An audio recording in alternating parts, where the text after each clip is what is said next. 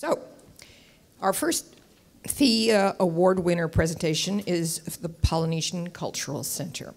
Since it opened in 1963, the Polynesian Cultural Center on the Hawaiian island of Oahu has hosted millions of guests, including countless dignitaries from around the world. Its recent comprehensive planning and development effort has brought this iconic facility to the 21st century, complete with state-of-the-art immersive guest experience. Please welcome President and CEO P. Alfred Grace and producer Pat Scanlon and President Michael Lee. Take it away, John. Um, there you go. Aloha. Aloha. Well, we're delighted to be with you today, and uh, I suppose I ought to explain away the accent a little. So, my name is actually Portata Alfred Grace, but you can call me Al. I come from New Zealand, or Aotearoa, which is its uh, native name, and I share that with you because New Zealand is part of the Polynesian Triangle, and so uh, I do represent the location. For those of you not familiar with the Cultural Centre, and, and by the way, I'm delighted to be here with uh, Mike Lee and Pat Scanlon. And I uh, would like to share a little bit about what the PCC is, the Polynesian Cultural Center. It is a, is a cultural theme attraction. It's located in the small town of Laie on the north shore of Oahu in Hawaii, uh, adjacent to the Brigham Young University Hawaii campus where most of our employees come as students coming from the different Pacific Rim countries.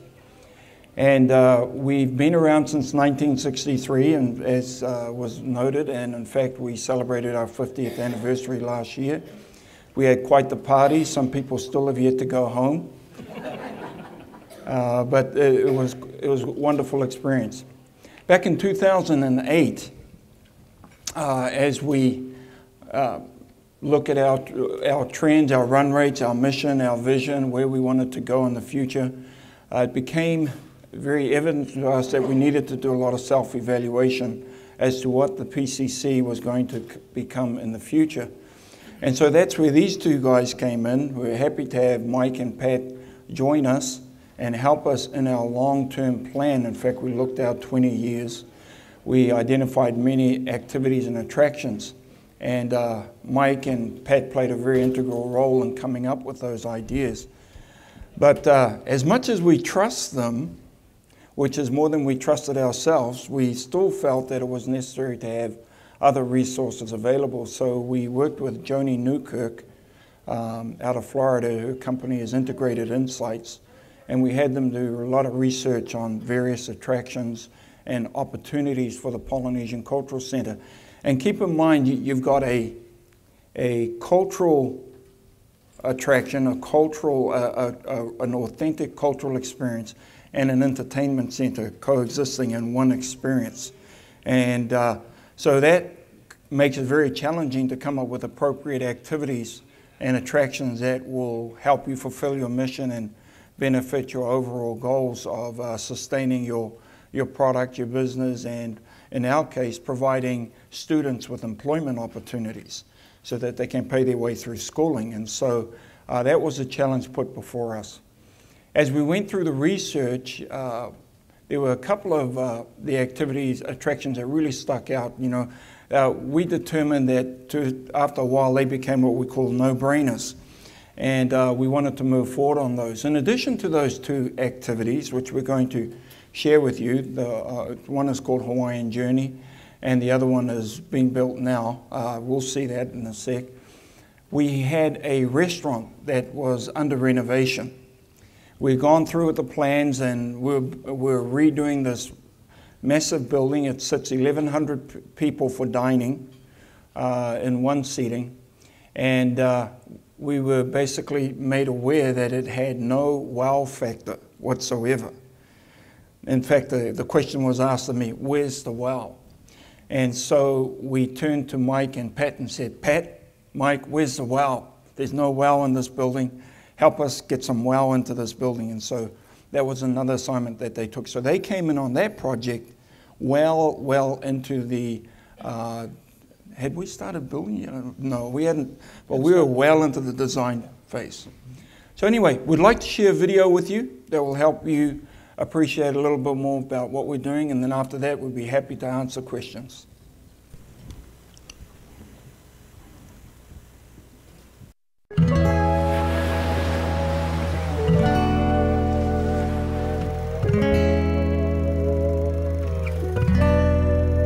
1947, the people of the small community of Laie decided to recreate a hukilau for the enjoyment of tourists and islanders. Over 2,000 people enjoyed the program presented on the beach. In time, that hukilau concept transformed into what has become the Polynesian Cultural Center, which opened on the north shore of Oahu in 1963. The PCC was founded to present and perpetuate Polynesian cultures, provide part-time employment for the Polynesian students attending the adjoining Church College of Hawaii, now BYU Hawaii University, to help cover schooling expenses and cause Laie to thrive. This year, the PCC will celebrate its 50th anniversary. Since opening, thousands of graduates have gone into the world and millions of visitors to the Polynesian Cultural Center have been touched by the spirit of students who have worked there.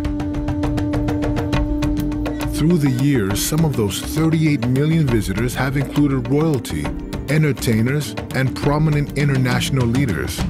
And the PCC is now widely regarded as one of the world's most admired and successful culturally themed attractions.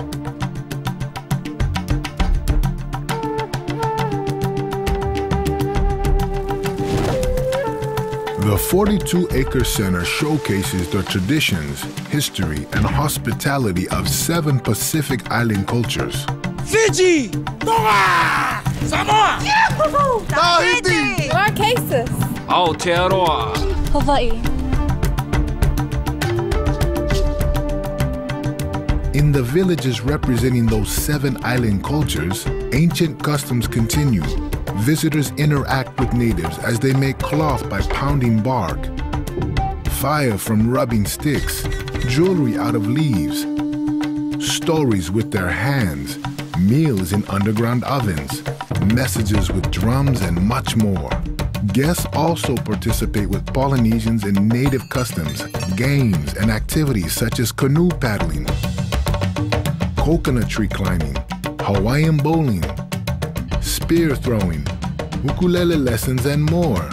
In short, they learn by doing, for the center's goal is to help every guest experience, not merely watch, native life. As a living cultural center, the PCC continues to evolve and renew its presentations and experiences.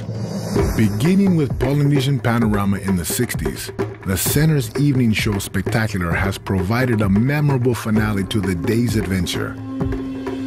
And now, the newest evening show, Ha! Breath of Life, features stunning special effects, surround sound, and over 100 performers, most of whom are students.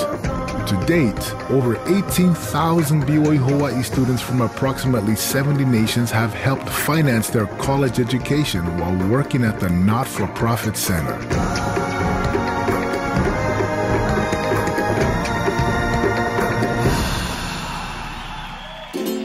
In 2011, our 37,000 square foot Gateway Buffet restaurant was completely renovated. Once simply a place where guests could enjoy a buffet dining experience, Gateway was remade into a storied grand Hawaiian hall complete with large koa wood columns and a 500 foot long mural encircling the entire space depicting a Hawaiian king welcoming his royal Polynesian brothers and sisters and other visitors to join in feast and fellowship. In March of this year, we opened Hawaiian Journey, a whole new guest experience. Our aging IMAX theater was transformed into a lush tropical volcano where guests enter the theater through an ancient lava tube. Once inside, a whole new adventure unfolds featuring rarely seen spectacular giant screen images of the Hawaiian Islands, presented in high definition digital projection, and accompanied by a soulful Hawaiian story narrated by a wise native kupuna, authentic music and sound, and special in theater effects that add moments of surprise fun, and excitement. And there's still more to come. Opening late next year, the Polynesian Cultural Center will add yet another major new attraction, the Hukilau Marketplace, a three acre retail, dining, and entertainment destination featuring genuine Polynesian artisans, local fresh foods, other special offerings, and fun. Who would have guessed that what began as a simple hukilau on the beach would have had such a profound effect on so many lives? Today, the joyous spirit of that hukilau lives on at the Polynesian Cultural Center, where Polynesians still join with visitors to create an unforgettable experience.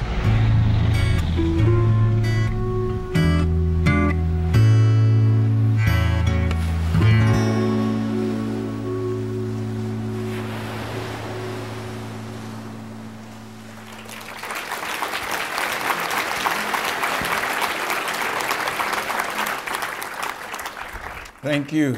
Thank you, o mahalo, as we would say in Hawaiian. Um, it really is a delight and honor for us to be here, but especially to win such a pre- prestigious award. Um, as we went through the development and the planning and the process, we wondered would it be successful? And we were delighted with the response we got from our customers, but then also to be recognized by the best in the industry, which, uh, which you, you are and represent, is, is truly a, an honor that uh, we'll cherish at the Polynesian Cultural Centre. So, with that in mind, uh, if you have any questions for us, we would be delighted to address them. I know Mike and Pat will be delighted to address them, and myself. Yes, ma'am. Aloha. I'm actually Aloha. Um, the second. Oh. Okay. She's from Hawaii. Yeah. Now, in addition to the buffet restaurant, you also have the Ali'i Luau, and then there's another luau that I'd heard something about in Samoa. Is that, that the whole luau show with dinner, or is that just a, another meal thing, or, or I know that was new for this past year. Yeah, thank you. It's, it's called the Island, Island Luau, and it's basically a Samoan uh, form of the traditional Hawaiian luau, and it provides our guests with another dining alternative. One thing about the Cultural Centre is uh, we, uh, Hawaii is a mature destination. 65% of the visitors to Hawaii have been there approximately six to seven times. If you're from the West Coast, you've been there 10 to 11 times. And so one of our challenges has been to get people to return to the Polynesian Cultural Centre. And uh, one, one point that's been challenging, the Cultural Centre has been Hawaii's number one paid attraction since 1977. Um, and we have to be careful, and to quote from uh, gentleman Jim Collins, you have to be careful that you, we don't fall into the trap of uh, being uh, comfortable with being good. He states, good is the enemy of great. And so we, we really wanted to be great, and we saw our attendance numbers reducing. Um, Hawaii is a beautiful destination, so one of the reasons we have these new attractions, including the Island Luau, is to attract the repeat visitors.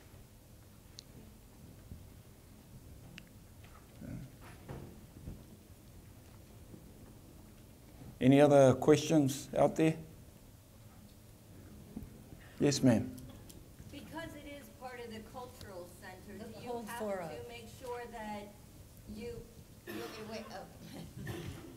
Because it's part of the cultural center, is it even more important for you not to take creative license with the entertainment? Absolutely.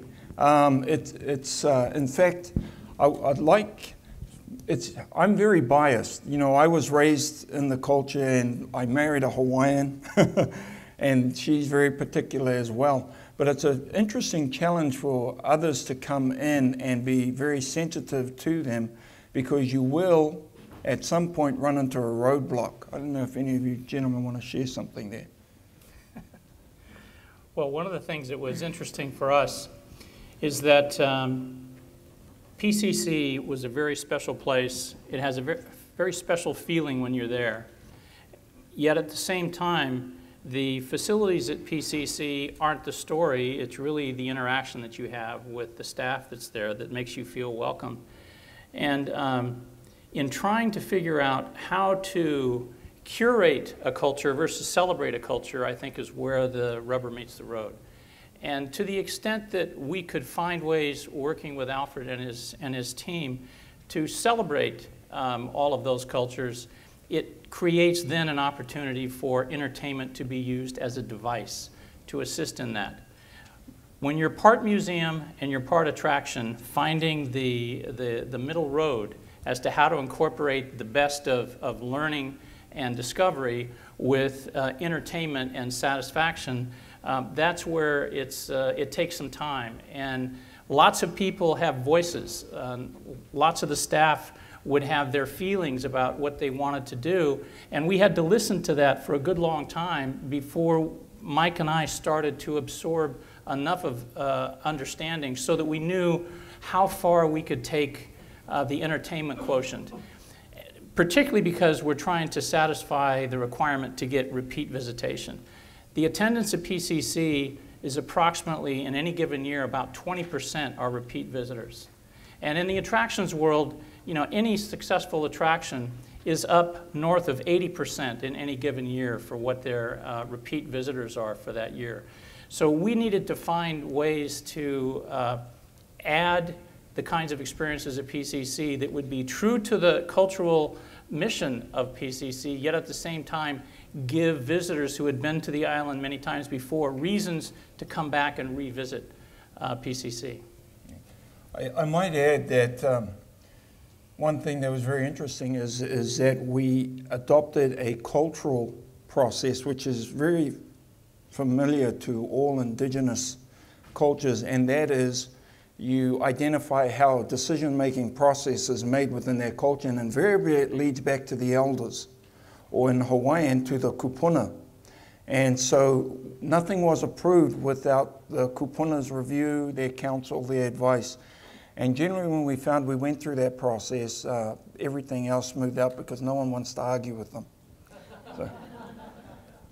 Well, when they weigh 400 pounds and are six feet seven, you don't argue with them that reminds me of uh, during the time we've been working on it, many of you saw the movie uh, Saving Mr. Banks. And uh, I felt like we were in that position many, many times with these uh, generous, uh, wise, and uh, energetic people who simply wanted someone to take care of their baby, you know, and we would plead, please, we'll do a good job if you just let us play with your baby. You know, it's not just the baby, it's everything about them.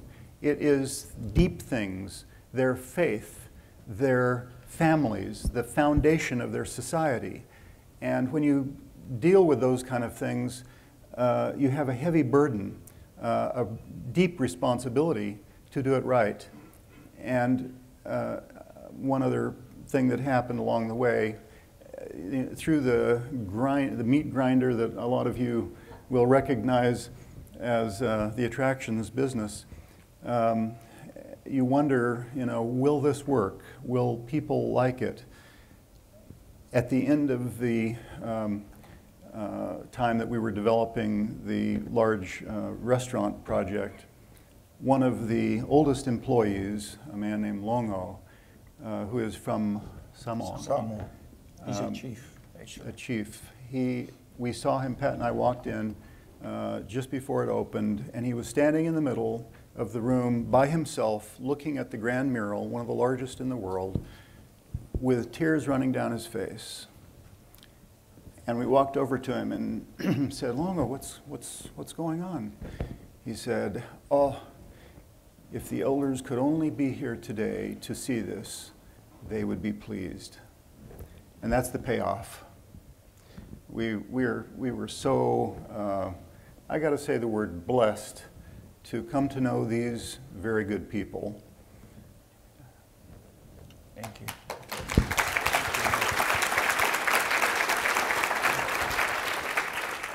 I just had a question. Um, of course, you know, grew up in Hawaii, so I know the PCC from when I was a kid. Um, and it has a, a niche in which it treats with the culture very much focused on traditional culture, on buildings as they were built, costumes as they were worn, crafts as they were executed. And as you go forward with the PCC and you consider this idea of revisitation, do you think there is room uh, for contemporary expressions uh, of, of culture? Because most of these cultures do have artists who work in continuity. Uh, do you think there's a niche in the PCC for contemporary expressions yeah. of that same culture, or, or is it within its brand that it is very much about this traditional feel? Yeah, excellent question because, you know, culture, sometimes we define it by uh, chronology, a timepiece, and culture is, is always uh, developing and, and morphing and changing into something else. And one of the things we're really excited about the new marketplace is the marketplace allows us to um, provide uh, the, the Polynesian artisans to expand their repertoire and to present uh, their, their modern views of, of life.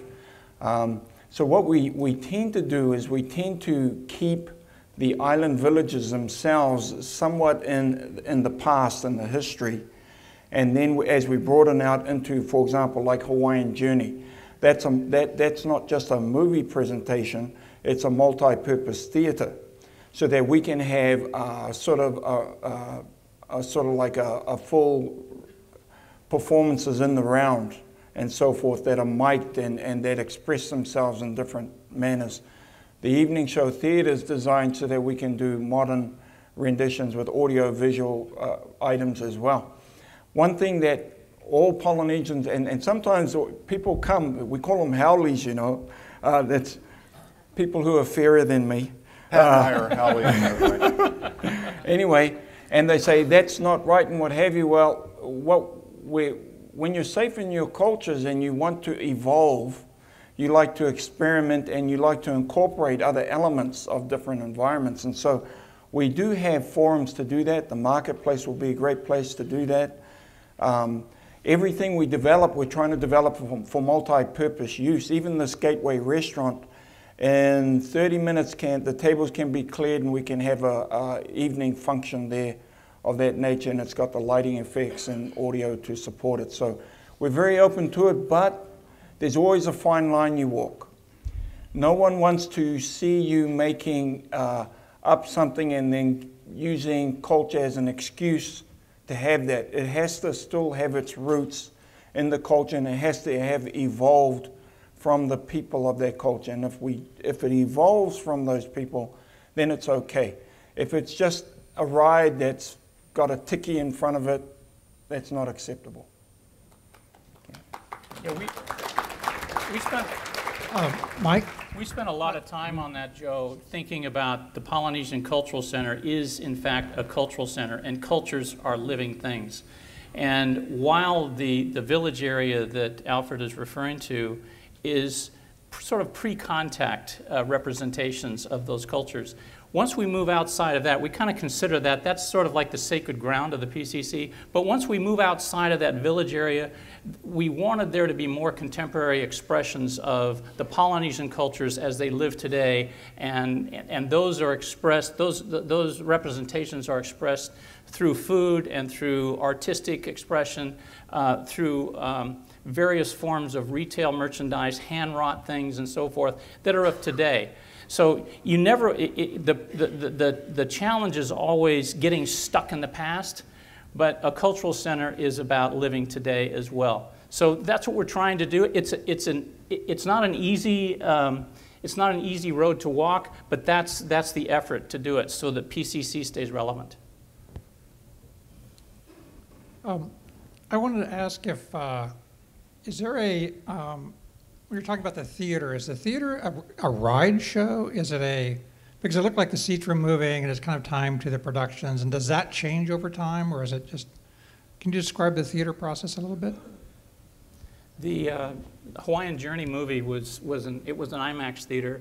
We took out all of the film-based IMAX equipment, and with Electrosonic's help, we put in new state-of-the-art digital projection, large screen. It's a Christie system, whole new audio system we have lots of control capability in there. So as Alfred said, we can use it for multi-purposes. We put a stage platform in the theater. We got rid of the pit that typical, typically goes along with IMAX theater so that you could have performers that come into that theater and put on uh, cultural performances. We can do high school graduations from the local high school, a number of things that can be uh, made to be more versatile there.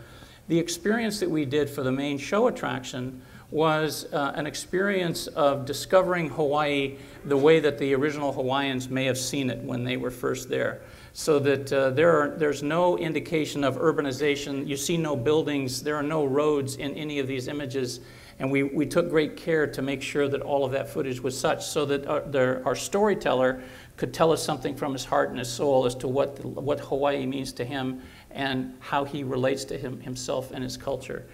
Um, the plan was to be that you could produce additional movies um, looking at additional cultures. This one is about Hawaii, but we could do Samoa, we could do Maori, we could do Tahiti.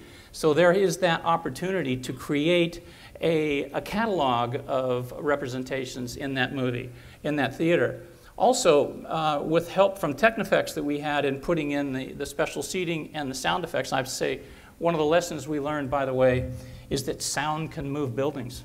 Because we, we, have, we put in some rotary subwoofers that will take a signal down to two hertz. And you can't hear anything below 20, but you can sure feel it.